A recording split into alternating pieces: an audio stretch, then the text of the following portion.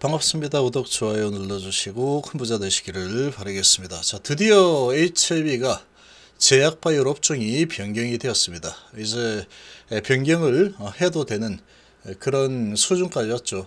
이 제약바이오 쪽에서 이제 매출과 영업이 흑자가 나기 때문에 드디어 이제 이 조선 쪽에서 바뀌었습니다.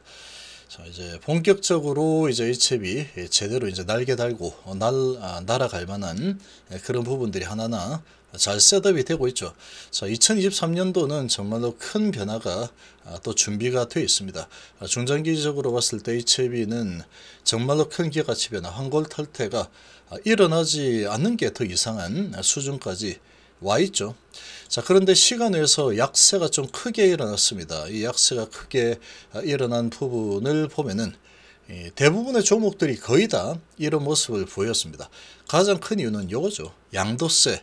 자, 100억으로 가겠다라고 했는데 이 민주당 쪽에서 끝까지 양보할 수 없다. 아, 금투세는 2년 유예가 됐죠. 그 부분은 상당히 반가운 소식인데 양도세 기준을 10억으로 그대로 가져가겠다. 이렇게 밀어붙여서 결국은 여기에 밀렸습니다. 여기에 밀려서 10억으로 결정했죠. 자, 이렇게 10억이 딱 돼버리면 이제 이 10억 양도세 기준을 피하기 위해서 아, 또그 기준일이 있죠. 이거는 예, 주식은 기준일이 있습니다. 근데 이게 참으로 이게 어처구니가 없는 게 이게 10억으로 결정을 해버리면 그 기준일 날 10억을 남기고 다 팔아버리고 그 다음에 다시 사겠죠. 누가 이걸 갖다가 내가 양도세를 낼 만한 상황이다 그러면 누가 들고 있겠습니까 이거. 세금 안 내려고 다 회피를 해버리죠. 그런 뭐 장치도 제대로 마련이 되어 있지 않은 상황에서 이걸 갖다 계속 고수를 하고 있다 보니까 특정일이 되면은 주가 그냥 훅 빠지죠. 훅 빠지는데 이 기준이 이제 개인에게만 적용이 되고 외인 기관은 적용이 안 되다 보니까 이걸 갖다 외인 기관들이 공매도도 적절하게 이용을 해서 어, 후려치죠. 후려치고 그리고 낮은 위치에서 낮은 가격에 맡아놓고 그 다음날 다시 가져갈 때 팔아버리죠. 자 정말로 심각합니다 정말. 자, 지금 보시면 먼저 좋은 소식부터 보시면 자이체비가 드디어 중분류 변경 전에 중분류 기타 운송장비 제조업에서 소분류 선박 및 보트 건조비였죠. 여기서 이제 변경이 되었습니다. 변경이 되면서 중분류 의료용 물질 및 의약품 제조업 소분류 제조업이고 소분류는 의료용품 및 기타 의약 관련 제품 제조업으로 어, 변경이 되었죠. 자, 드디어 이제 에, 드디어 어, 변경이 드디어 변경이 되었습니다. 합병으로 인한 주된 사업 내용 변경이다. 변경일은 12월 23일 내일부터 이제 변경이 될 예정입니다. 자 이제 제약바이오로 드디어 어, 들어왔습니다. 제약바이오로 드디어 들어왔죠. 아주 좋은 소식이고 하나하나 계속 만들어 가면서 결국은 해냈습니다. 결국은 해냈고 이제 스텝을 계속 밟아 나가고 있는 상황이고 이제 가장 강력한 기가치 변화인 리보사라니 NDA 승인 신청 그리고 NDA 승인을 받아내는 부분 이제 이 부분이 남아있죠. 삼성까지 다 완벽하게 데이터를 확보를 했기 때문에 HF는 결국에는 기업 가치가 크게 날개를 달고 날아가는 이런 상황이 일어날 수밖에 없는 어, 상황 환경이다 아, 이렇게 볼 수 있겠습니다. 자 그리고 지금 뭐 보시면 아, 정말로 심각한데 금투세 시행은 2년 유예로 결정이 났습니다. 그런데 주식 양도세는 현행대로 가겠다라고 했죠. 자, 도대체 이거 뭐 누구를 위한 아, 법안인지 모르겠습니다. 금융투자소득세 시행이 2년 유예가 되었습니다. 이건 정말로 좋은 소식이죠. 자, 금투세는 주식 채권 펀드 파생 상품 등에서 기준이 5천만 이상 되면 20% 과세하는 제도이죠. 3억 초과분에 대해서는 25%가 매겨지는 상황인데 자, 이게 2년 후로 어, 지금 유예가 되었습니다. 유예가 되었고 자, 그런데 자, 이게 이제 문제가 되죠. 주식 양도세는 현행대로 어, 과세가 되고 주식 양도세 대상이 되는 대주주권은 기존하고 동일하게 10억으로 유지됩니다. 10억. 자, 좀 심각하죠. 증권거래소에 대해서는 단기적으로 인한다는 방식입니다. 현행 0.23%, 세율은 내년 0.2%, 2024년도에 0.18%, 25년에 0.15%까지 낮이다. 자, 이거는 뭐 아주 반가운 소식이죠. 이 내려가는 거 너무 좋습니다. 너무나도 좋은 소식이다. 이렇게 볼 수 있는데, 자, 이거 이제 대주주요건이 10억이라는 게 참 이 문제가 있는 거죠. 문제가 있습니다. 이 100억으로 간다라고 했는데 결국은 밀렸습니다. 계속 이제 시간에 쫓기다 보니까 어, 뭐 민주당에서 안 돼, 배째 이렇게 해버리면 방법이 없죠. 그러니까 어, 금투세 부분은 이렇게 하자. 대신에 양도세는 10억으로 하자. 아, 이렇게 결정됐습니다. 이 10억으로 가게 되면 누가 제일 이득을 보느냐? 공매도 하고 외국인이 외국인. 외국인하고 기관들이 이득을 보는 겁니다. 이렇게 되면 주식에서.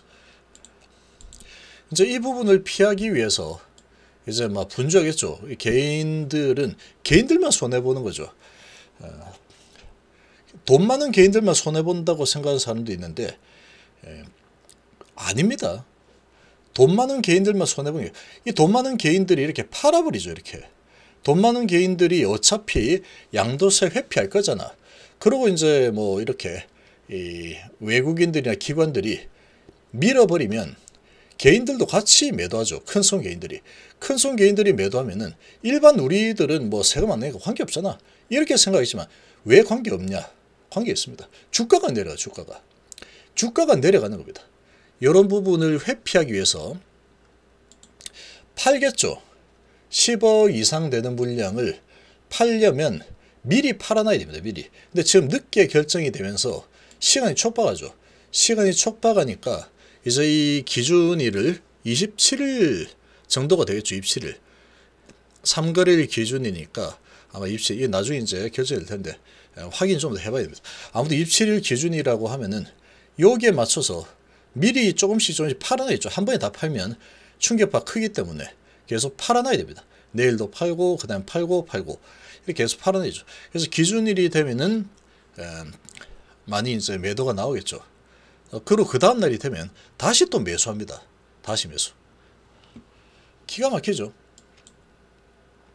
하루 맡아 놓는 대가로 몇 프로씩 가져가죠. 뭐 어, 심하면 한 5%씩, 5% 6%씩 하루 맡아 놓은 대가 내놔. 그리고 이제 외국인 기관들에게서 다시 매수를 해 들어오죠. 그러면 내려갔던 주가가 다시 올라옵니다. 자, 지금 이런 상황이 올해도 이제 또 발생을 하게 되는 거죠. 올해도 또 발생을 하게 됩니다. 지금 연말만 되면 그래서 HB도 이렇게 보면은 연말만 되면은 주가가 내려가죠. 12월 달 주가 이렇게 내려가죠.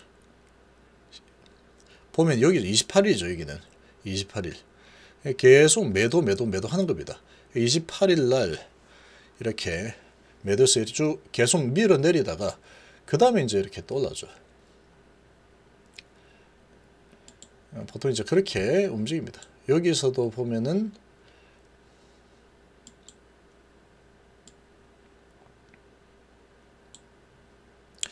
20, 12월 달 여기도 뭐 마찬가지겠죠. 여기 이제 최저 찍은 게 28일이죠. 28일. 그리고 29일 날 다시 이렇게 5.8% 이렇게 올라가죠. 자, 지금 뭐 기가 막힙니다, 정말. 이런 상황이 또 발생을 어, 하면서 어, 주가가 또 이제 올라갈 만한 타이밍이 딱 잡혔는데 저런 결정이 나오면서 이제 다시 밀려 내려갈 일만 남았죠. 단기적으로. 단기적으로 이제 밀려 내려가는 상황에 노출이 되어버렸다. 아, 그렇게밖에 볼 수 있습니다. 아, 지금 이제 20에서 맞고 이제 그러면 올라가기 좀 힘들겠죠. 이렇게 된 거 이제 개인들 물량 좀 아, 가져와야 되겠다. 이렇게 좀 진행이 될 겁니다. 그러니까 이 이제 물량 조절을 하겠죠. 물량 계속 조금씩 조금씩 팔아 되겠죠. 개인들이 팔아 되면은 그거를 갖다가 외인하고 기관들이 비싸게 파게 놔두겠습니까? 계속 공매까지 같이 공매도를 엮어가지고 좀 밀어내겠죠. LG 에너지 솔루션도 쭉 잘 가다가 저 소식이 딱 나오고 어, 마지막 타임에 1,500원 이렇게 하다 7,500원 확 밀어버리죠 이렇게. 이런 현상이 예, 좀 나타났습니다. 지금 다른 종목들도 좀 하락을 조금씩 했는데 이렇게 뭐 하락을 할 수밖에 없는 셀트웨스케어도 지금 잘 가다가 저 금투세 이야기가 나오고 나서 지금 확 밀- 밀려버렸죠. 1% 정도 밀려버렸죠. 그래서 HB도 1.4%나 아, 밀려버렸습니다. 저 소식이 딱 나오면서 크게 밀려버렸죠. 어, 셀트리온도 이렇게 밀려버렸고 어, 대부분의 종목들이 다 마찬가지입니다. 어, 생명과학도 이렇게 밀렸죠. 자, 이런 현상이 일어났다. 그래서 그러나 이제 이 부분은 뭐 단발성입니다. 근데 연말까지 해서 어, 주가 흐름이 좀 또 지겨운 흐름으로 어, 별로 좋지 않은 흐름으로 흘러갈 수밖에 없게끔 어, 딱 막아버렸다. 아, 그렇게 보시면 되겠습니다.